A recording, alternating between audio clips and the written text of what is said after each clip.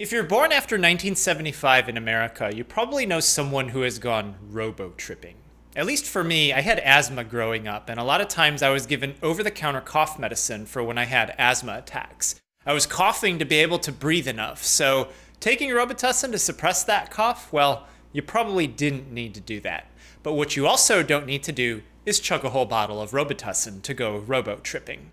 I bring up 1975 because throughout the 1990s, you can start to see more and more literature talk about misuse of something called dextromethorphan, which is the active ingredient in Robitussin. This is what suppresses cough, and it can also send you on a trip. As much as we've known people who have misused dextromethorphan, at least in my case, I've hardly ever known anyone who enjoyed it. Even taking it for coughs, the syrup doesn't taste good. People may have robo-tripped once and then never do it again. And also, keep in mind, I'm only mentioning the voluntary ingestions on the much darker side of things. The overdose can happen involuntarily, and in the emergency room, that part of the history needs to be collected from visual cues on behalf of EMS. So if you go a little bit deeper, you can find more similarities between over-the-counter and prescription cough syrups than what initially comes to mind. We know that dextromethorphan comes as a syrup. Some people, they're not supposed to do this, but they buy it as a powder. So in both of these cases, you can take it by mouth. Oral administration means that most of the dose that's swallowed is metabolized by the liver first. And this is good because the active form of dextromethorphan is dextrorphan. Usually, these moieties on the sides will get acted on first in metabolism. And this brings us to the first similarity between over the counter and prescription cough syrups. Prescription cough syrup is codeine based. It also usually has promethazine in it, but people are misusing it for the codeine because codeine is an opioid. Promethazine isn't. In the poppy sap, where we get morphine, codeine is in there too. They're both naturally occurring. Morphine is kind of like dextromethorphan in that to get them in the body, you can consume something that gets broken down to them. Codeine is broken down in the liver to morphine, and dextromethorphan is broken down to dextrorphan. This makes codeine and dextromethorphan something that we call prodrugs. Pro from Greek meaning before. Not only are they both prodrugs, but they're also broken down by the same enzyme in the liver, cytochrome P450 2D6. I brought this up during my prescription cough syrup video, link in the description below, that some people could drink a large amount of promethazine codeine syrup and feel absolutely nothing. And the reason for that is that their genetics show that they have a 2D6 deficiency. And what does that mean? Well, if they don't have a lot of liver enzyme that breaks codeine to morphine, then codeine doesn't become morphine, so it never becomes activated. Theoretically, the same thing would happen with Robitussin in these people. It never gets activated. You got to be careful with what you see sometimes in literature because the concept might trip some people up. A poor metabolizer would be someone who doesn't turn the syrup into active drug, meaning that they could drink a lot of it and still feel little effect. So poor metabolizer is high tolerance. An extensive metabolizer we usually denote as a positive quality, given that when something is extensive, we usually associate it with something that's thorough and therefore high quality. But in this case, an extensive metabolizer means that they can convert large quantities of the syrup into active drug. So they technically would have a low tolerance because of a high percentage of what they consume becomes active. Low dose, high effect, which you don't want in this case, because the intended use of these is to suppress cough, not to dissociate from reality. To keep going on the opioid analogy, dextromethorphan happens to be related to codeine. If you take the mirror image of dextrorphan, you get levorphanol. The orientation is built into the names of these. Dextro means right and levo means left. If you look at symmetry in nature, just take for example the right and the left hand, you'll notice that you can reflect them off a surface, but when you superimpose them on top of each other, there's no physical way to get their shapes to be exactly the same. That observing the hands facing the same direction, there's a median that's the same, but for example the thumb is on the opposite side. You could try to get the fingers to match, but that means that the hands are then facing different directions. When you apply this to chemicals, the chemical formulas are the same, but these stereoisomers are different in orientation. The reason why this is important is because in order for the pain relieving opioid activity to happen at the opioid receptor, the molecule needs to be in the L orientation. And the potency of the analgesia is correlated to how strongly it binds into the receptor. It's like putting a handprint in something soft. You'll notice that the other hand kind of fits, but not really all the way. And if it's an imprint in some kind of hard material, you can't really fit it in at all, which is analogous to what's going on in the case of dextromethorphan because over the counter cough syrup doesn't do anything for pain like morphine does. It doesn't fit into the opioid receptor site to produce analgesia because it's flipped. So when you do a basic search for dextromethorphan, you'll see that it's a non opioid.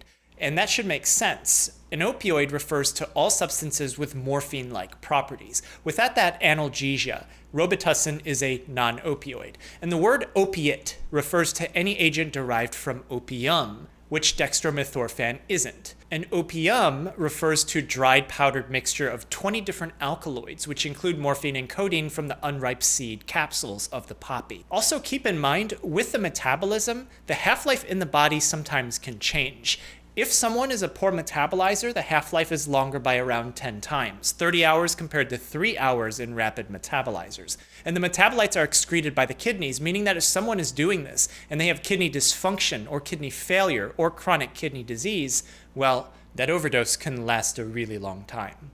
So we already know what codeine syrup does. What happens when the over-the-counter stuff is misused? This brings us back to the chemical structure. We have an alkylated amine that's adjacent to a cyclohexane ring. Ketamine has this. Phencyclidine, something known as PCP, also has this too. Actually, sometimes in urine drug screens, dextromethorphan will be mistaken for a positive on PCP because that's how the assay picks it up. We know that both of these can be dissociative agents, so this could explain why that feeling happens when someone robodoses. But for dextromethorphan, it doesn't just stop here. This is a little less intuitive, and if you look through literature in the 90s, it seemed like no one really knew how or why this was happening. But DXM also has serotonergic activity at the 5-HT2 receptor. And this happens at normal doses, which is why you see warnings on the label about combining it with other medicines. Combinations make this worse because of drug-drug interaction. The patient that was described in the Chubby Emu video reported that she was self-medicating her depression with DXM. Dextromethorphan actually floods the brain with serotonin. The flooding of serotonin causes this euphoria, makes people feel better, um, getting them out of that depression for that momentary period of time. Unfortunately, that is followed by crash where the serotonin levels are not sustained. And that unfortunately can lead to, to greater um, depression. But that initial euphoric feeling, that antidepressant kind of feeling, is due to that flood of serotonin. So, all of this could make sense, boosting serotonergic activity to help with treatment of depression. But here's the thing SSRIs are a first line treatment in depression, barring any contraindications. There is some ongoing research in studying DXM in treatment resistant depression. That is, at least on the study, someone eligible for the study would have tried less than three different types of medicine for major depressive disorder. But take caution on the hype because it could be a stretch for something like this to unseat the current first line therapy. Even if there's good evidence, there's still adoption that needs to happen. And for something like DXM, I'm not 100% sure if that's going to happen. When someone misuses something like dextromethorphan, they're taking huge amounts of it.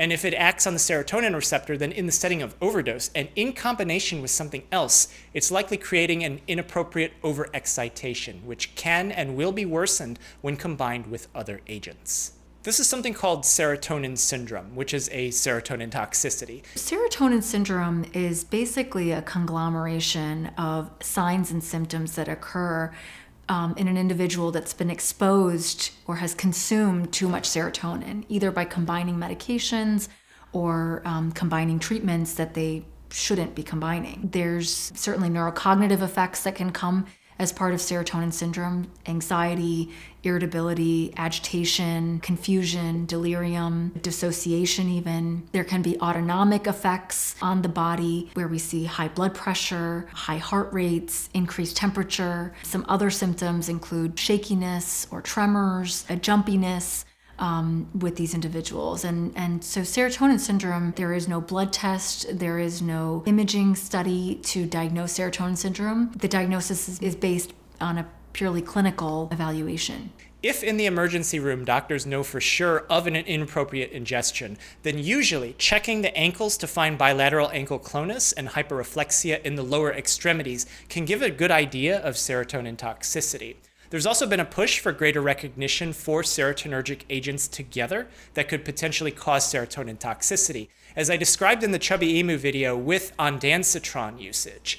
Generally, if someone is known to be on SSRI, or in this case was thought to have been adherent to her medicines, I think, or at least I hope, most would opt for a non serotonin antagonist antiemetic. So we can say with confidence don't chug a whole bottle of dextromethorphan, and especially don't mix it with other things because of what it can do in the brain with serotonin. But when we say don't mix it with other things, sometimes it already comes mixed in. You see, with the over the counter stuff, there's often other medicines in there. In some cases, it's Tylenol, which will damage your liver in the setting of overdose. Sometimes it's guaifenesin, which is another cough medicine, although any effects that it might have in overdose seem to be overshadowed by the DXM. Other times, DXM is also combined with anti allergy medicines. Almost all of these in the over the counter formulations are like Benadryl first generation antihistamine.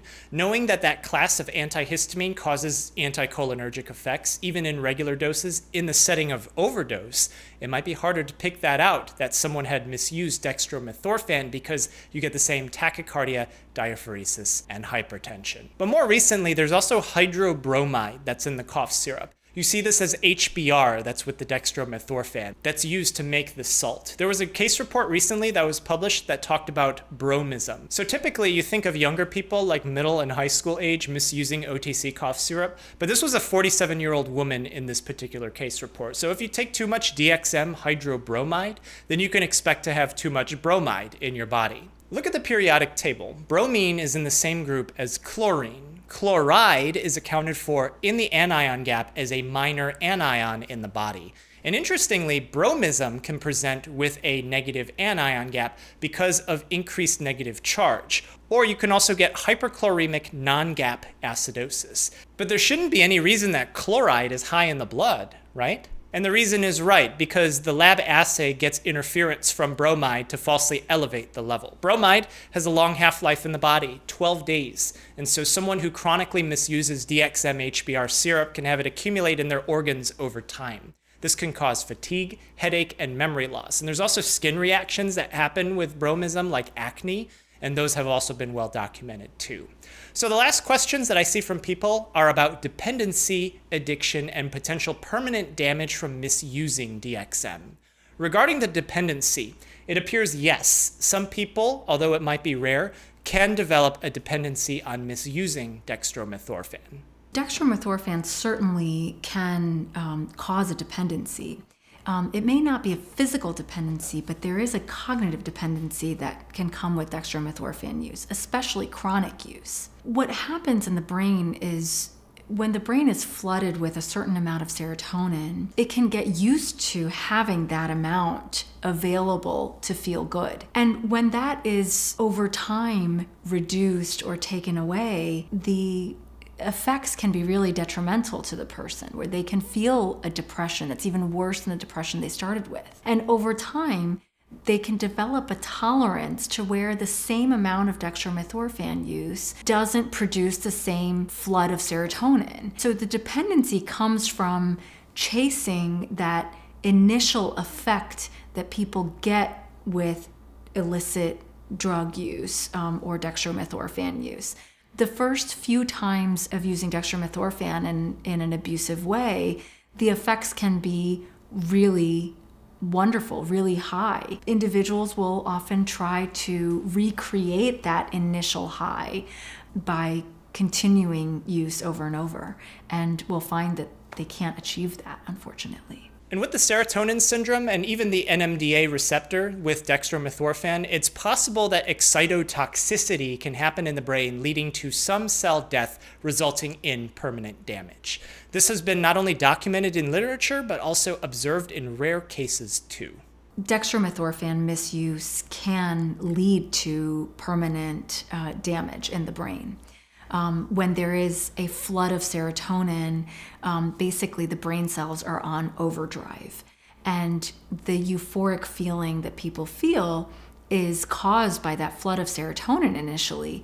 But what's actually happening during that period, even though you feel good, is your brain cells are actually killing themselves.